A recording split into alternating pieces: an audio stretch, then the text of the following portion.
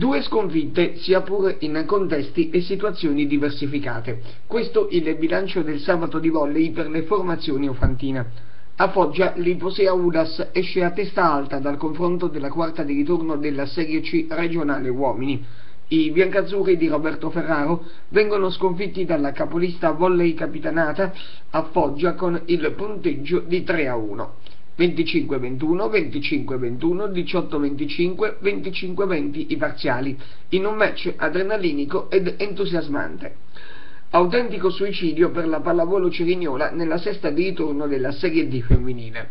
Sembra proprio indigesto vincere davanti alle mura amiche e di fatto resta un tabù.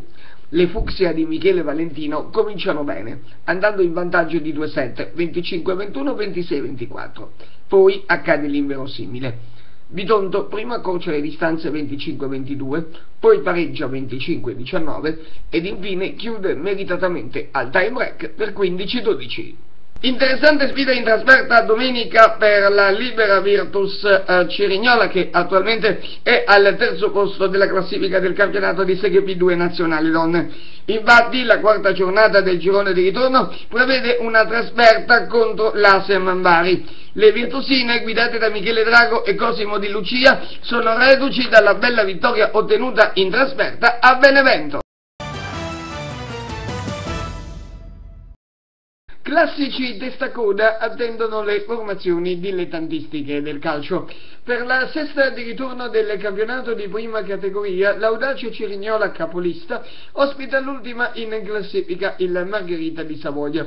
Una sfida che segue la bella vittoria ottenuta domenica scorsa contro il Torre Maggiore che ha fatto dare agli eh, Ofantini il dodicesimo successo utile consecutivo. Ma è chiaro naturalmente che dopo questa sfida l'attenzione sarà puntata su giovedì 12 marzo quando ci sarà l'appuntamento con la Coppa Puglia, decisivo per accedere alla finale della manifestazione. In testa coda anche per la seconda categoria, per le due squadre che stanno dando vita ai vertici della classifica, Sportamania Cerignola da una parte e Sauri dall'altra.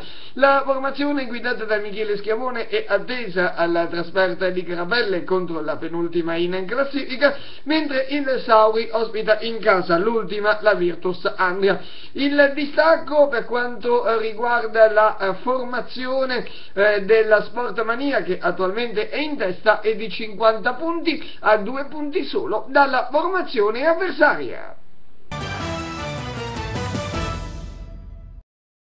Riscatti e beffe, questi gli esiti degli anticipi della settima giornata di ritorno del campionato di Serie A. La Sampdoria batte il Cagliari per 2-0 con le firme di De Silvestri ed Eto e mette nei guai i sardi di Gianfranco Zola che rischia l'esonero. Il Milan non sa più vincere in casa, costretto al pareggio al 94esimo 2-2 da un Verona spregiudicato quanto basta. Per la lotta scudetto, attesa per la trasferta della Roma al 20 gol contro il Chievo. Ritorna il Parma in campionato dopo le vicissitudini legate alla sua crisi finanziaria e attende al Tardini in Atalanta. Oltre alle sfide salvezza Cesena Palermo, Empoli Genoa ed Udinese Torino, l'attesa sarà anche per la sfida del San Paolo tra Napoli ed Inter. Si chiuderà poi lunedì con due posticipi Lazio Fiorentina e Juventus Sassuolo.